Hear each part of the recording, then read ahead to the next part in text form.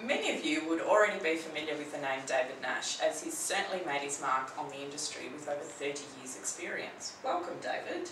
David, can you tell us a little bit more about the upcoming Traffic Signals workshop series? Well, this is a two-day intensive workshop about traffic signals. It's based on the Austroads Guide to Traffic Management and it will take participants through the design of traffic signal installations and also the safe and efficient operation of traffic signals.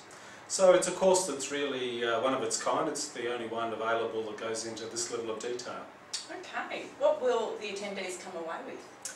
Well, I think they'll come away with some hands-on experience. There'll be some um, real examples, um, looking at real solutions to real problems, and uh, and uh, hopefully, you know, this will improve their understanding of traffic signal operations.